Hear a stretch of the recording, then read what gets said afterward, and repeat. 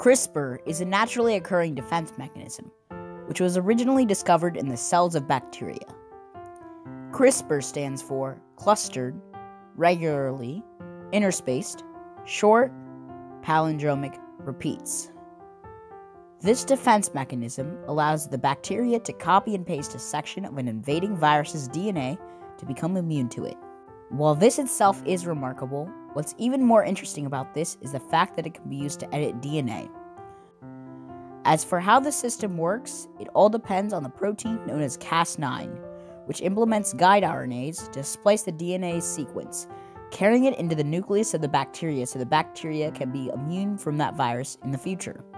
The way we can use this to edit genes is by having Cas9 target an area we choose and replace or cut a section of the DNA sequence. Using this system, we can cure diseases like cancer and create immunities to other diseases or viruses. CRISPR was first reported in 1987 by Francisco Mojica at the University of Alicante in Spain. Through his research, he reported that these immune defense systems shared a common set of features. In 2005, Dr. Mojica's work led him to successfully hypothesize that CRISPR is an adaptive immune system. The next few years after this discovery would be a whirlwind of advances in the CRISPR field, as scientists soon became able to understand how it cuts the DNA precisely. And through the research of many scientists, including Jennifer Doudna at Cal and Feng Zhang at MIT, Scientists soon became able to understand how CRISPR can be harnessed to edit the human genome. Research still continues today and is exponentially growing.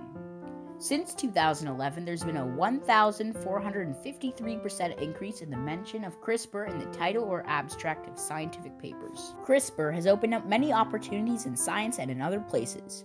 Here's Nicole Pachin to explain. Um, it can be used to edit the genes of living organisms. So I think that that could be beneficial for like reducing the burden of disease, maybe in cancer or infectious diseases.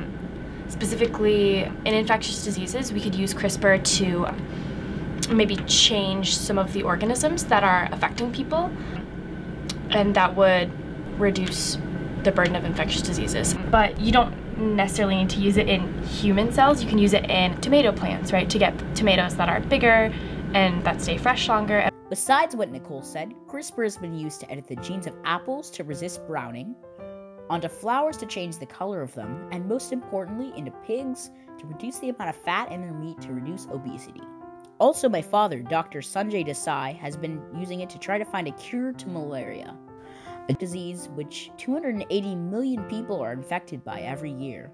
Even though CRISPR has created so many opportunities in science, there are some problems with it, including the issue of the off target effect. The human genome is 3 billion base pairs long, and a gene which you tell Cas9 to cut may be repeated or close to repeated many times. Here's Mira Garriga of the NIH to explain. Many, many places where you're cutting that are not just where the place that you're trying to cut is. Those um, mutations can lead to other effects that we don't want. And those are called off-target effects. And you can imagine, especially when we're dealing with human beings, that's incredibly important. We want to make sure that we are maintaining normal human physiology. We don't want to be disrupting something else.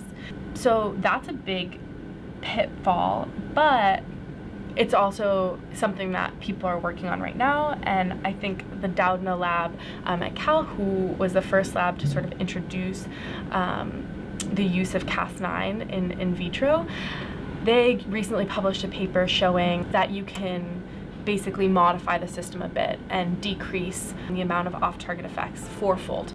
With studies like the ones by the doudna lab we may soon be able to reduce the number of off-target effects with crispr even with this great new technology that could revolutionize the way we treat disease and cure genetic diseases, CRISPR has a history of an ethical debate. There are some serious ethical questions, such as whether we should use this process in humans and whether it is okay for people to design their babies before they're born.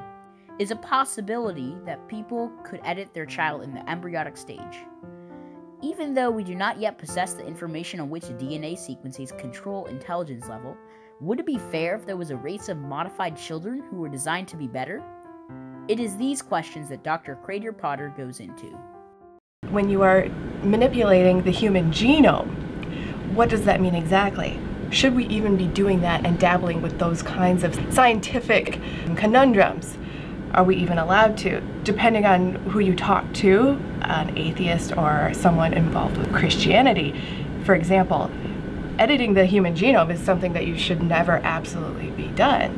So therein lies many different ethical problems that could be happening here eventually that we could be looking forward to hearing more about in science. Depending on who you ask, CRISPR could be the greatest thing to happen in science or a monstrous process that should not be made legal. All things considered, we should be very careful in where we use this new technology, as it could create genetically modified people, destroy variety, or be used to create viruses that are invincible to any known cure. This kind of editing that can happen in the wrong hands could lead to even more dangerous diseases or viral outbreaks, or something that we have no possible notion that could even be happening.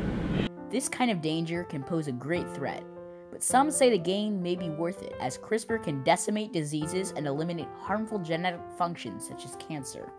With everything that CRISPR can do, it would be foolish not to use it, but it's important to use it wisely the unintended consequences could cause as much havoc and destruction as much as the benefits cause good. After all, science is a tool. Only the wielder can choose what to use it for.